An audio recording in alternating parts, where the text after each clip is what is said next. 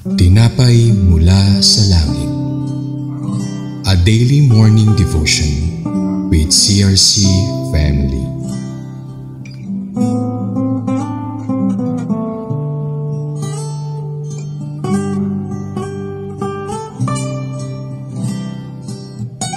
Isang mapagpalang umaga po mga kapatid. Ako po si Jaconesa Tina Carpio ng CRC Makati. Samahan niyo po ako sa ating programang Tinapay Mula sa Langit, ang ating pang-araw-araw na debosyon sa salita ng Diyos. Ngayong umaga ay matutunghayan natin ang Book of Numbers, chapter 30, verse 1. Bago po tayo magpatuloy, tayo po muna ay manalangin. Ama, maraming salamat po sa panibagong araw na ibinigay niyo po sa amin, panibagong pagkakataon na maranasan ang kabutihan mo sa aming mga buhay. Sa kabila ng mga sakuna na naranasan namin sa aming paligid, patuloy naming napapatunayan ang kapangyarihan at pag-ibig mo sa amin. Sa aming pagbubulay-bulay ng iyong mga salita, dalangin namin ang iyong pagpatnubay at maging ang karunungan na nagmumula sa iyo upang maintindihan namin at may sa buhay ang mga aral na ito. Itinataas po namin ang iyong pangalan, Panginoong Yesus, sa aming kalagitnaan. Pinupuri, dinatakila, pinapasalamatan ka sa lahat-lahat ng iyong mga ginawa. Ito po ang aming samot panalangin sa pangalan ni Jesus. Amen. Basahin po natin ang Numbers 30 verse 1. Sinabi ni Moses sa mga pinuno ng bawat lipi ng Israel, ito ang utos ni Yahweh. Ang pasimula ng kabanata na ito ay kakaiba sa mga kalimitang mababasa natin na pinapatungkol sa mga taga-Israel na pangkalahatan. Dito mababasa natin na kinausap ni Moses ang mga pinuno ng mga lipi ng Israel. Itong gantong pagpapatungkol ay kalimitang nakadepende sa tindi o bigat ng mensahe na galing sa Diyos. Dahil ito ay binibigay sa mga pinuno ng mga pangkat, ito ay may layuning pampamilya. The heads of the tribes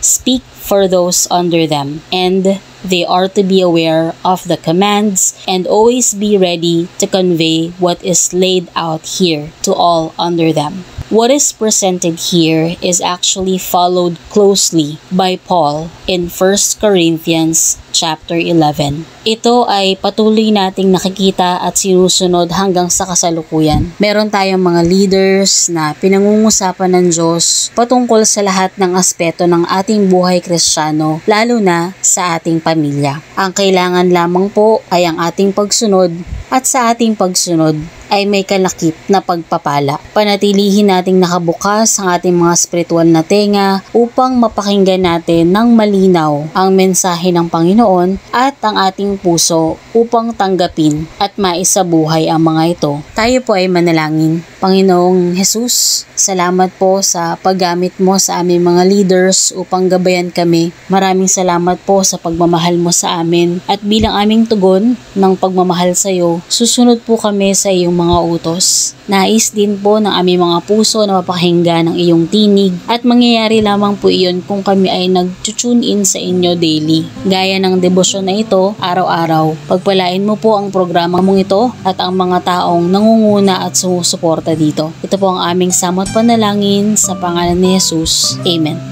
Maraming salamat po muli sa inyong pakikibahagi sa ating programa. Lagi po nating pagnilayan ang salita ng Diyos mula sa ating puso dahil lubos po ang magiging kaunawaan natin dito. Muli po ninyo kaming samahan bukas sa pagninilay ng kanyang mga salita dito sa Tinapay Mula sa Langit. Malaya rin po ninyong i-share ang video na ito upang kayo din ay maging pagpapala sa iba. Pagpalain po tayo ng Panginoon. Magandang umaga po.